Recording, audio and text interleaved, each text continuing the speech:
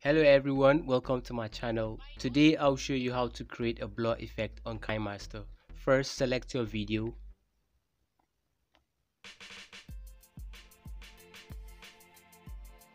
Now here is a video I want to uh, create a blur effect on. So let's say I want to create a blur effect on this page right here.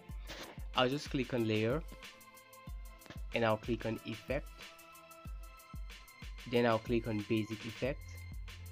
And you can see two uh, blur effect right here. The first is Gaussian blur and the second is mosaic. I'll start with Gaussian blur. Click on it. Okay.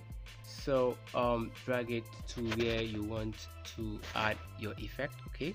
Now this is it. So you can just uh, position it to where you want. Alright. So it's been positioned.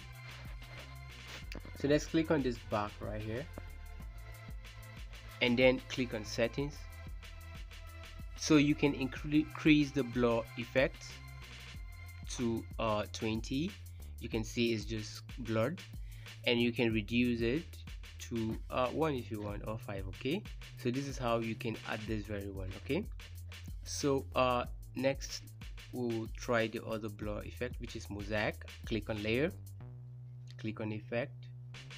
Click on basic effects. Then click on mosaic okay? This is it. So um uh, bring it back to this very place. All right this is how it is. You can just position it to where you want. All right so click on this back to go back. Now click on settings. So if you want to increase it you can see to 20 and you can bring it back. Alright this is uh, pretty much how you can add a blur effect on any video you want. If you enjoyed this tutorial please let me know in the comment section and also click on the like button for more